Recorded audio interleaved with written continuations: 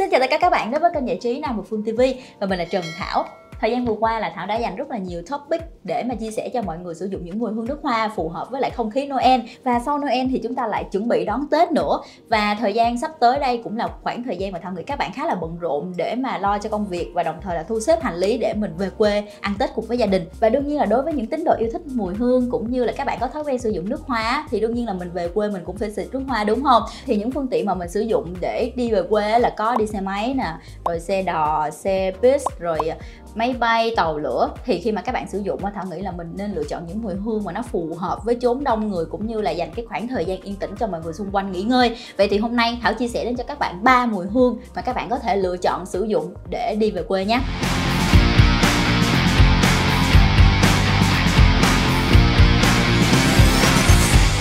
Chai nước hoa đầu tiên thảo muốn chia sẻ đến cho mọi người mà chắc chắn rằng mình phải sử dụng khi mà trên đường về quê nha. Đó là thuộc thương hiệu Maison Mangela của dòng Replica. Thì em này có tên là Under the Lemon Trees được ra mắt vào năm 2018 Under the Lemon Tree là cái tên nói lên tất cả. Mùi hương á, là gồm lá chanh là lá trà xanh kết hợp với quả chanh và gỗ tuyết tùng. Thì sau những nốt hương chính đó thì các bạn cũng đã mường tượng ra được mùi hương của em này là đúng không? Mùi hương rất là chanh luôn mọi người nó tươi mát nó dịu nhẹ. Và các bạn có thể thấy màu mật nước của chai nước hoa này là thuộc dòng màu thuộc kiểu màu pastel á. Thì những chai nước hoa mà thuộc màu pastel như thế này là có một mùi hương rất là nhẹ nhàng nè.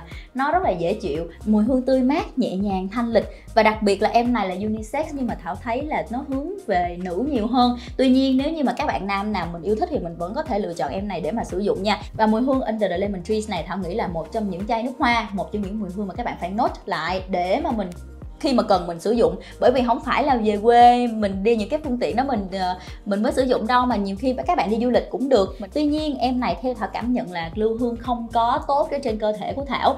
Thảo nghĩ là trong một cái quãng đường mà mình di chuyển là nó đủ rồi không có cần phải quá nồng nặc hay là bám hương lâu nha. Và replica under the lemon trees là mùi hương đầu tiên mà thảo nghĩ là rất là thích hợp để các bạn sử dụng trên đường về quê nha. Chai nước hoa thứ hai đến từ nhà chloe thuộc dòng atelier. Thì em này có tên là magnolia là hoa mộc lan mọi người được ra mắt vào năm 2019 thật ra thì những chai nước hoa mà thuộc dòng Atelier của nhà Chloe á, Thảo rất là thích bởi vì mùi hương rất là đơn giản. Mình cứ uh, giống như kiểu nói một là một thì tên như thế nào là nốt hương như thế đó. Và nốt hương chính duy nhất thôi đó là hoa mộc lan. Thì em này khi mà Thảo sử dụng á Thảo cảm giác giống như là rất là tinh tế thiết kế thân chai đơn giản thôi không có quá màu mè hay là quá kiểu cách mùi hương từ hoa mộc lan á nó nhẹ nhàng. Nhưng mà có đôi lúc á cảm thấy nó hơi ngậy ngậy của mùi sữa nữa. Ngoài ra là đâu đó trong nốt hương hoa mộc lan thì các bạn cũng sẽ ngửi thấy cái sự tươi mát từ nốt cam chanh. Và thảo cảm nhận nha nếu như Under the Lemon Trees là một chai nước hoa mang mùi hương tươi mát kiểu sảng khoái á, thì uh, Magnolia là một chai nước hoa nó gần gũi là nó tinh tế và nó rất là nữ tính luôn. Và Thảo bật mí luôn là Thảo rất là thích những chai nước hoa thuộc dòng Atelier của nhà Chloe này. Và sắp tới là Thảo sẽ làm một cái chiếc vlog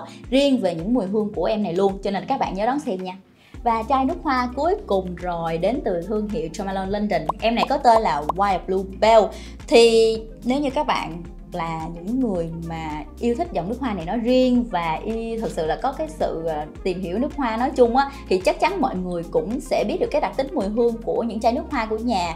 Tourmaline London là thuộc cái ờ, nồng độ tinh dầu cologne có thể là mọi người thích hay không thích, nhưng để nói là mọi người khó chịu về mùi hương này thì Thảo đảm bảo 100% là sẽ không hề khó chịu nha. Và đặc biệt là mùi hương này Thảo chia sẻ đến cho mọi người nó khá là thú vị á, bởi vì cái thành phần mà cấu tạo nên mùi hương này toàn là những nốt hương hoa thôi. Ví dụ như là hoa linh lan, hoa cát cánh, hoa tầm xuân, hoa nhài. Nhưng mà khi mà Thảo xịt mùi hương này ra và cái lúc, Thảo nhớ đến cái lúc mà Thảo chưa có đọc bản thành phần nha Thảo nghiêng mũi thấy mùi, ôi, mùi hương của dưa hấu và quả kiwi.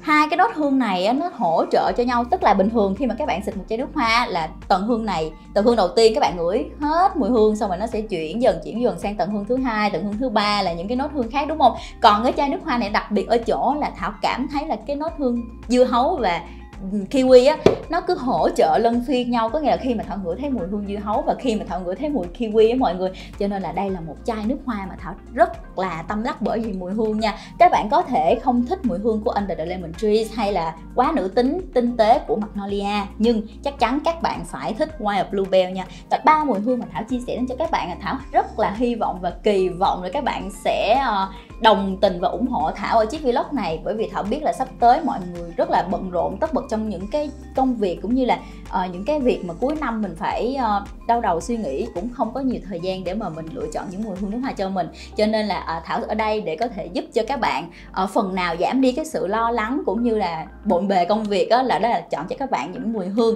phù hợp đến những dịp mà các bạn đến ha. Và nếu như sau chiếc vlog này các bạn muốn thảo làm những cái topic hoặc là review riêng về những mùi hương nào thì đừng ngần ngại comment bên dưới chia sẻ cho thảo biết nha. Đừng quên like subscribe kênh giải trí nam bộ phương tv để đón xem nhiều chủ đề hay hơn từ thảo và hào. Và nhớ bấm cái chuông để nhận được thông báo nha. Mình là trần thảo. Cảm ơn, hẹn gặp lại các bạn ở những vlog sau.